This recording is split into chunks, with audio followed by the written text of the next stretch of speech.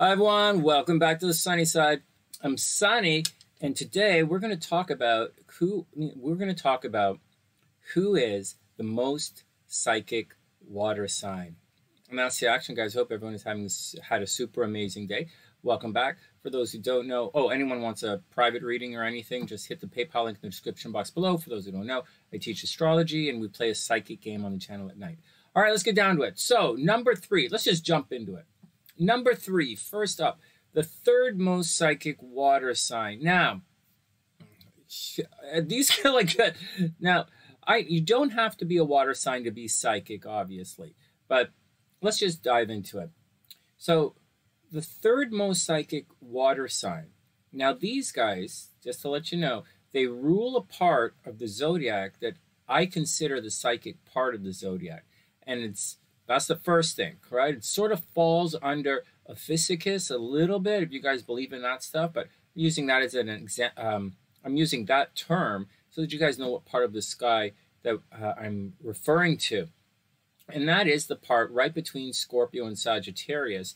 And that tends to be a fairly psychic part of the zodiac. It's kind of how, um, if you have something that aspects that part of the chart, you tend to be fairly intuitive. So that's how you get psychic Tauruses, you know, because opposite that part.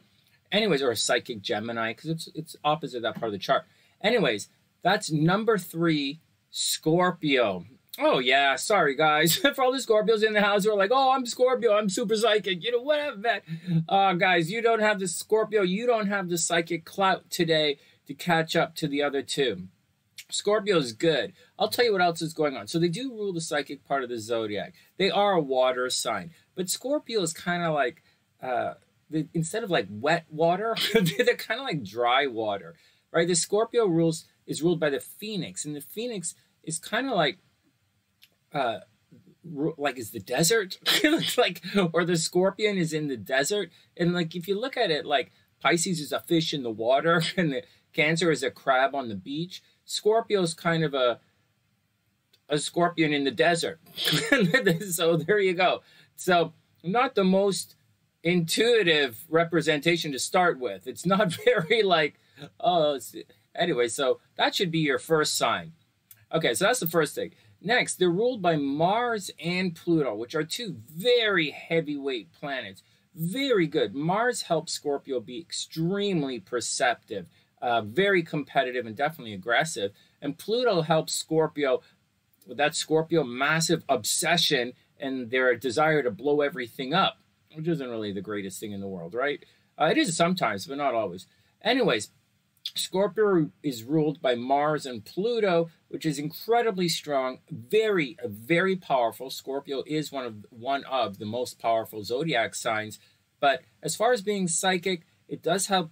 Pluto helps Scorpio see behind the scenes um, and to delve delve delve deeply. so, right, anything that's the underworld is what we're talking about today. And Scorpio definitely rules some of that stuff. Um, unfortunately, they're not quite strong enough to get past uh, the real heavyweights of the zodiac.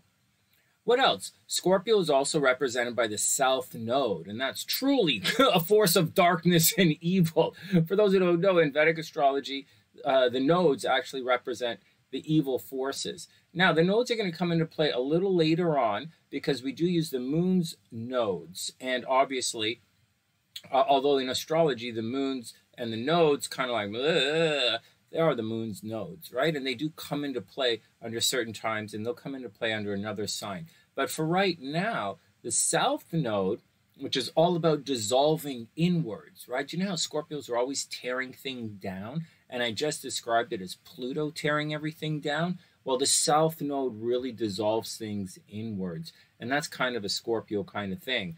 And so, so that's the thing. So, like, if the moon is conjunct the south node, you're going to repress your emotions. You're going to have emotional problems. You're going to be withdrawn. If the sun is conjunct your south node, you're going to be very withdrawn and you're not going to trust other people. You know, Venus is conjunct your south node, you're, going to repress your sexuality uh, and your how you relate to others somewhat. So that's the deal with the South Node. so, but it is a force of evil, which is pretty good, and that's the deal. so next, Scorpio rules the eighth house, which is all about death. So uh, then the Tarot Scorpio is ruled by the death card, which again doesn't really help our cause here today. Uh, and as always, as always, just to sum up with Scorpio, like Scorpio's incredible power, power. They're a very powerful sign, very sexy, very successful, always good at what they want. You definitely want a Scorpio on your team. You definitely want Scorpios backing you up. But are they the most psychic zodiac sign? Not on this team. The water signs are tough. The next two, they'll knock Scorpio right out of the universe. Just to let you know, finally, to conclude with Scorpio, they are always three steps ahead. They're super intuitive, ridiculously, ridiculously perceptive. They're kind of like the Virgos of the water signs. Uh, and again, they're three steps ahead, but then Scorpio tends to live in the past, so I don't know how good that helps them. All right, next, number two. Now, number two is a tricky one, and I might take a little bit of heat for this. I used to think that these guys were the number one psychic sign of the zodiac. I really did. And I had reasons for that. But, and today, as I'm going over this, I was like, yeah, you know, and we're bringing in this and we're bringing in that and this type of astrology and that type of astrology. But I couldn't do it. I couldn't pull the trigger on it. These guys rank second. Now, here we go. You guys ready? so, okay, first up, number two, ruled by the moon. Ooh, I'm going to take some heat for that. Okay, ruled by the moon. Very strong, always changing. Okay, the moon, very, very, very strong. Like one of the most powerful um, signs in astrology is the moon. Okay, ruled by the moon, very strong, always changing.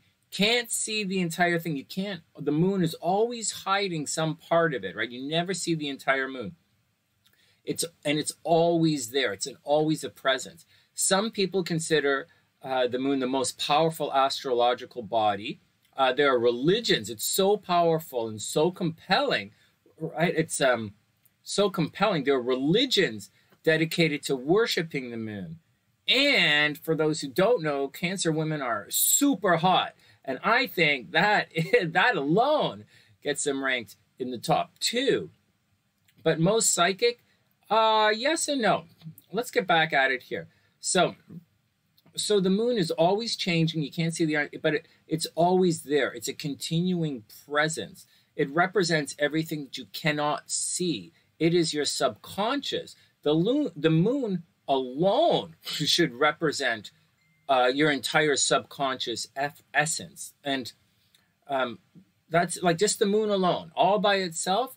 Um, in the tarot, the moon card represents uh, the Hebrew glyph is the back of your head, which it means the back of your head, which represents everything you don't see. It's the hidden. It's like what you don't see.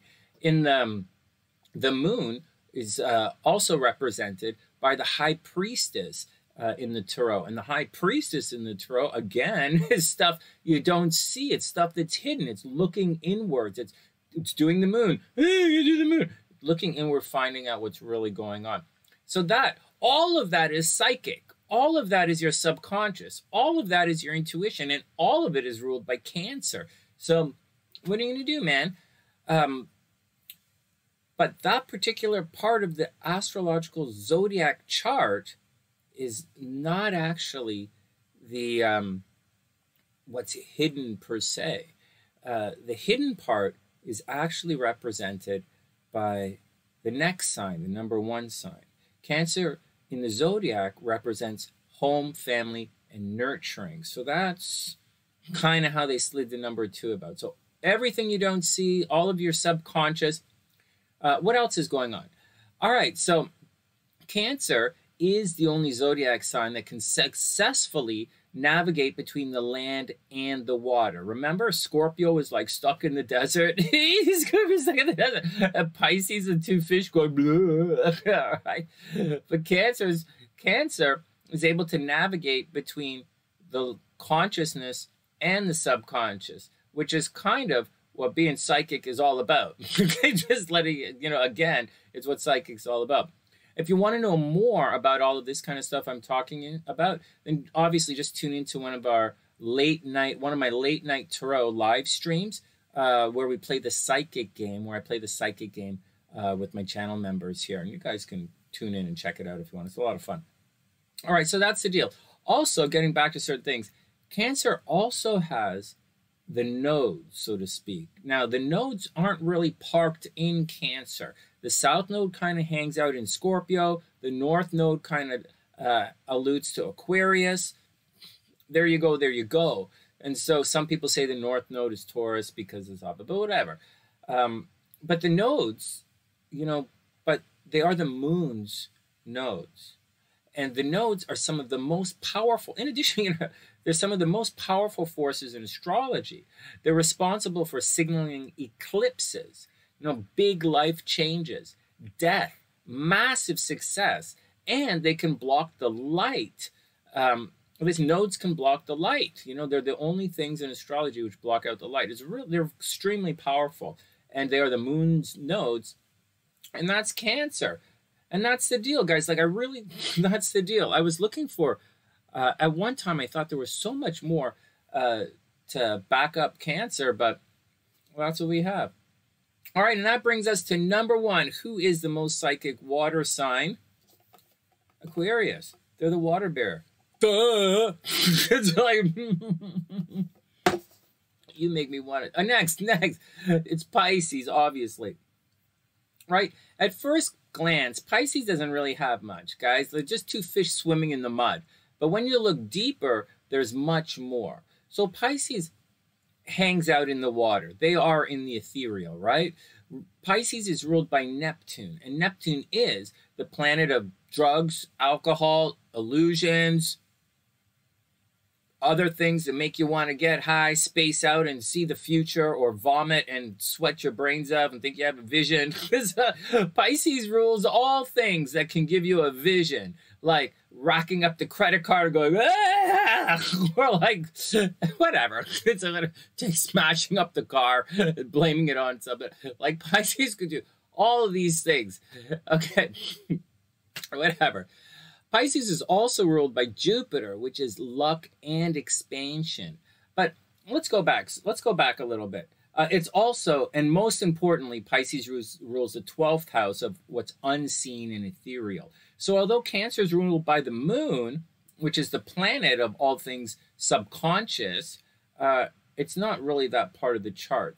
Cancer is more rules nurturing with your subconscious, your subconscious desire to nurture everything whereas Pisces is more along the subconscious environment.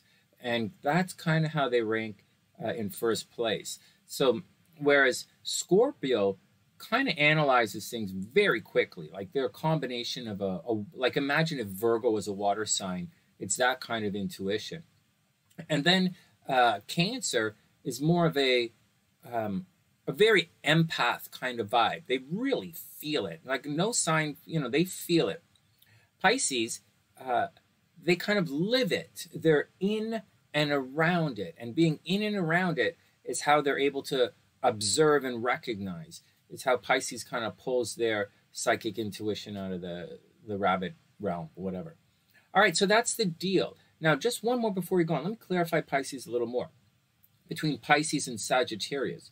So Sagittarius is very spiritual sign, but it's not woo spiritual. And yes, I said Sagittarius. They're ruled by Jupiter, and Jupiter is the planet of spirituality. But the difference is the Sagittarius is very straight shooting, it's very real, it's very fiery, it's very fun, very playful, very experiential, very outside and big and broad and bold. Maybe there's a bonfire involved, maybe some body paint. Very, I mean, there might be some Pisces coming along to bring, you know, bringing something. So that's Sagittarius. Whereas Pisces is all of that. However, it's also uh, seen and viewed and experienced through this Neptune lens. And the Neptune lens blunts some of the distracting forces and some of the maybe uh, aberrations and illusions. And Pisces can see through the facade to make it to the other side. Scorpio sees through the facade. Pisces can see through the facade. Cancer usually creates a facade, like so, but that's the deal. And that's the deal, guys. And that's my head to head with the top three. Uh, who's the most psychic water sign? Cancer puts up a really, really good fight. Um, but Pisces, Pisces is already there. And that's the action, guys. I hope everyone has a super amazing day.